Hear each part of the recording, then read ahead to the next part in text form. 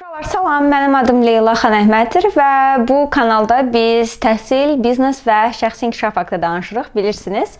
Və bugünkü video yəqin ki, daha çox şəxsi inkişafa aiddir, çünki bu videoda biz sürücülük vəsiqəsi almaq barədə və ümumiyyətlə maşın sürmək barədə danışacağıq. Ümumiyyətlə mən sizə bu gün danışacağam. Maşın sürmək təcrübəm necə başladı? Necə mən ilk maşınımı sürdüm? Necə mən ilk sürücülük vəsiqəmi aldım və necə oldu ki, mən gəldim ABŞ-da da sürücülük vəsiqəmi nəhayət ki aldım. Ümumiyyətlə mənə elə gəlir ki, bəzi cəmiyyətlərdə ə, maşın sürmək niyəsə gender rollarına aid olunur. Maşın sürmək oğlanlar üçündür, barbilərlə oynamaq isə qızlar üçündür. Və beləliklə çox xanımlar maşın sürməkdə ümumiyyətlə çox həm kompleksli, həm də maşın sürməyə qarşı bir qorxu ilə böyüyürlər ki, mən maşın sürə bilmərəm, mən qəza törədərəm, mən heç vaxt öyrənə bilmərəm. Halbuki oğlanlar bəzi cəmiyyətlərdə, bütün cəmiyyətlərdə demirəm, daha çox e, oğlanlar ümumiyyətlə elə böyüyürlər ki, ilk dəfə maşın sürməyə başlayanda insan elə bilir ki, anadan doğulandan bəri bu insan ümumiyyətlə maşın sürə bilibdi. Və mənə elə gəlir ki, cəmiyyətin bu nəticələrdə çox böyük bir rolu var. Hətta mənim yadıma gəlir necə mən o vaxtlar Gəncədə yaşayanda bizim yaşadığımız binanın qabağındakı binada bir dənə qadın var idi. Wow, təsəvvürünüzə gətirirsiniz, bir qadın 2000-ci illərin əvvəli Gəncə kimi yerdə maşın sürürdü və əlbəttə ki, bütün şəhər o qadına əxlaqsız lıq damğası vurmuşdu. Çünki maşın sürən bir qadın əxlaqlı bir qadın ola bilməz və indi o haqqda ümumiyyətlə düşünəndə təsəvvürümə gətirirəm ki, necə bu anormal bir düşüncələr idi, amma sözümü nəyə gətirirəm ki, ümumiyyətlə bütün bu hekayələr, qadınlar maşın sürə bilməz, qadınlar yaxşı sürücü ola bilmir, qadın nədir, maşın sürdü nədir? Bütün bunlar o qədər mənə uşaq vaxtı təsir eləmişdi ki, mənim maşın sürməyə qarşı bir fobiyam var idi. Bu məni dəhşətli dərəcədə qorxudurdu və mən maşın sürməyi ilk dəfə İsveçrədə öyrənməyə başladım və bütün dostlarım çox sağ olsun, mənimlə çox səbirli olan dostlarım, bir çox dostlarım mənə maşın sürməyi öyrətməyə başlamışdı İsveçrədə və mənim İsveçrədə ilk dəfə olaraq İsveçrədə mən mexanik bir maşın götürmüşdüm, təsəvvürünüzə gətirin və 6 ay zülm çəkmişdim. Çoxları deyir ki, mexanik maşınla başlamaq lazımdır sürməyə, bu sizə çox şey öyrədəcək, amma mexanik maşın mənim üçün sadəcə olaraq vaxt itkisi idi və mən sürücülük qabiliyyətlərimə fokuslana bilmirdim. Mənim bütün fokusum maşının daxilində baş verən hadisələrə gedirdi.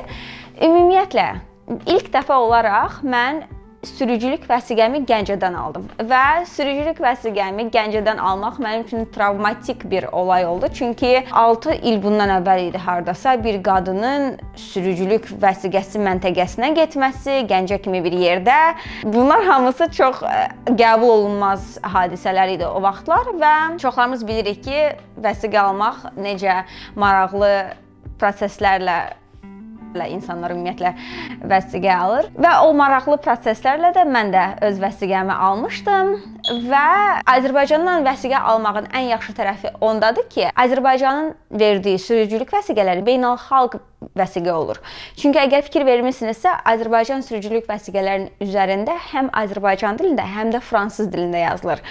Bu da mənim üçün çox böyük bir şans idi, çox böyük bir pozitiv tərəfi idi ki, mən Azərbaycandan aldığım sürücülük vəsiqəsini İsveçrədə də istifadə edə bildim və mən İsveçrədə 5-ci semestrdan 7-ci semestra qədər öz maşınımı kirayələyə bildim və Fransadan kirayələdim öz maşınımı. Fransadan kirayələdiyim maşınım üçün Azərbaycandan əldə etdiyim sürücülük vəsiqəsini göstərdim. Və artıq mən İsveçrədə maşın sürməyi öyrənmişdim, düzdür. Amma İsveçrə böyük bir kənddir və bir yol sağa gedir, bir yol isə soldan gəlir və dörd yol belə qarışıq fərqli maşınlar, heç nə yoxdur. Çox sadə ən sadə, ən primitiv sürücülük təcrübəsi təklif etdi mənə İsveçrə. Ona görə də mən İsveçrədən ABŞ-a gələndə hardakı 16 yolluq kəsişmələr var. Mənim üçün bu tamamilə yeni bir təcrübə oldu. Mən sanki maşın sürməyi burada yenidən öyrənməli oldum. Və mən ABŞ-a gələndən sonra da yenə də öz sürücülük vəsiqəmi istifadə edirdim, hansını ki mən Gəncədən almışdım. Çünki öz adıma maşın almamışdım. Burada isə öz adına maşın alandan 6 ay sonraya qədər sizin şansınız var ki, siz beynəlxalq sürücülük vəsiqəsi ilə maşını sürəsiniz. Və mən bura gəldikdən sonra bilirdim ki, mənim sürücülük vəsiqəm var. Ona görə uzadırdım. Bu gün gedərəm imtahana, sabah gedərəm imtahana və nəhayət ki, bir gün təyin etdim özüm üçün və dedim ki, mən artıq gedib sürücülük vəsiqəmi alacağam. Ən çox da mən məndə buna təkan verən Yuliya oldu. Yuliya Saparnyazova. Səhv etmirəmsə restoranda oturmuşduq və ya hardasa bu haqqda demişdi və bu məni çox motivasiya eləmişdi. Ümumiyyətlə gün təyin elədim və qərar verdim ki, gedib vəsiqəmi alacağam. Vəsiqəmi almaq üçün mən əlbəttə ki, imtahana hazırlaşmalı idim. Mən imtahana hazırlaşmaq üçün dərs oxumadım. Sadəcə olaraq sınaq testləri elədim və o sınaq testlərin demək olar ki, 90%-i imtahana elə eyni suallar düşdü. O sınaq testləri linklərini sizin üçün aşağıda buraxacağam. Əgər Chicagoda imtahan verməyə hazırlaşırsınızsa, o sınaq testləri eləyə bilərsiniz. İmtahan çox mənə görə asan keçdi. İmtahanı keçmək üçün 28 düzgün suala cavab vermək lazımdır və maksimum 7 dənə səhv buraxmaq olar. Mən 4 dənə səhv buraxdım və 28 dənə suala da cavab verərək imtahanı keçdim. Ümumiyyətlə imtahana getmək üçün nələr lazımdır? Social Security card lazımdır. Yəni bura siz gələndə sizə Social Security kart verilir. O kartın özü lazımdır. Nəinki rəqəmi, müşqatımdır. Bundan əlavə sizə ID lazımdır. Məsələn, mən öz green kartımı götürdüm və eyni zamanda 2 dənə sənəd lazımdır, hansı ki təsdiqləyir ki, siz öz adresinizdə yaşayırsınız. Belə ki, mən bütün bu sənədləri götürdüm, vaxt təyin etdim və burada adresi qoyacağam. Bu adresdə imtahana getdim. Səhər saat 7-də evdən çıxdım ki, tez gedim ki, tez də bitsin hər şey və saat 10:30-da vəsiqəmlə artıq imtahan məntəqəsindən çıxdım. Bəti sizə burada videorolik qoyacağam. İmtahan hansı küçələrdə baş verirdi. Bu imtahan məntəqəsinin ətrafında olan küçələrdə imtahanın elə sürücülük imtahanının özü baş verirdi və məndən sürücülük imtahanını Filippinli və Amerikalı bir ə, şəxs götürürdü və həmin gün qar yağırdı. Təsəvvürünüzə gətirin, oktyabr ayı və qar yağırdı. Sadəcə olaraq ilk öncə parkinqə qədər mənimlə gəldi, maşına baxdı, bütün işıqları yoxladı, sonra maşına oturdu və biz imtahan məntəqəsinin yanında sürməyə başladıq. Sadəcə olaraq sürmə hissəsində keçməli olduğunuz ən vacib hissələr bunlardır ki, sadəcə yavaş-yavaş sürmək lazımdır stop sayınlarda tamamilə dayanıb təzədən getmək lazımdır. Ondan sonra sağa dönmək, əlbəttə ki, bütün qaydaları izləyərək sola dönmək. Əgər yolda 30 ilə getmək lazımdırsa 29 ilə getmək və çox səbirli şəkildə imtahan instruktorunuzun sizə dedikləri tapşırıqları yerinə yetirməlisiniz. Təxminən hardasa 15 dəqiqə maşın sürdüm mən e, imtahan götürən insanla və mənə elə gəlir ki, əgər mən imtahana getməzdən əvvəl Chicagoda maşın sürməmiş olsaydım, mən imtahandan kəsilərdim yəqin ki. Çünki biz bəzi dörd yollara girdik, harda ki, sağa dönmək lazım idi, sola dönmək lazım idi və bu da bilirsiniz, əgər təcrübə yoxdursa, bu yəni ki, çox da asan deyil. Çünki siz orada bəzən 16 yolluq ə, e, kəsişməyə də çıxa bilərsiniz və bilməlisiniz ki, hansı işıq sizindir, hardan haraya dönmək lazımdır və hətta indiyənə qədər Chicagoda bəzi 5 və ya 7 yollar var, hansılar ki, diaqonaldır və mən indiyənə qədər başa düşmürəm ki, mən gedə bilərəm yoxsa gözləməliyəm. Ona görə sırada ilk maşın olmaq mənim üçün bəzən stressli olur. İmtahanda parkinq daxil deyildi, parkinq etmədim.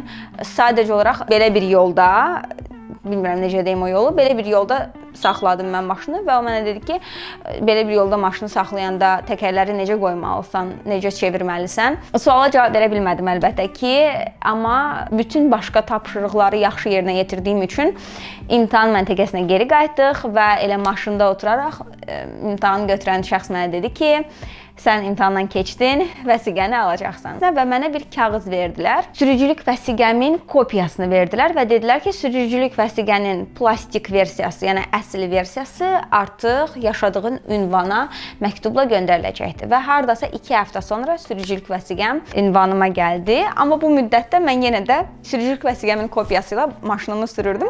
Belə, yəni imtahana çox hazırlaşmadım. İmtahana hardasa hardasa 1 saat ərzində bütün sınaq testləri elədim. Sadəcə sınaq testləri elədim. Belə ümumiyyətlə asan bir təcrübə idi. Gözlədiyimdən daha stressiz bir təcrübə idi. Orda imtahanı bir də rus dilində də vermək olurdu. Səhv eləmirəmsə, orada seçim var idi rus dilində verməyə. Eyni zamanda Chicago-da səhv etmirəmsə, imtahanı özünüzdə tərcüməçi də götürə bilərsiniz. Amma bu necə işləyir bilmirəm. Bilmirəm, bəlkə başqa kanallarda bu haqda kimsə danışıb. İndi artıq vəsiqəm var. Özümü daha özgüvənli hiss eləyirəm. 5 illik vəsiqəm var, amma 5 il sonra sadəcə olaraq gedib onu yeniləməliyəm. Yəni yenidən imtahan verməli deyiləm. Ümid edirəm ki, bu video sizin üçün kömək etdi. Bu video sizə faydalı oldu. Ümid edirəm ki, bu videodan nəsə öyrəndiniz və növbəti videomda sizinlə görüşənədək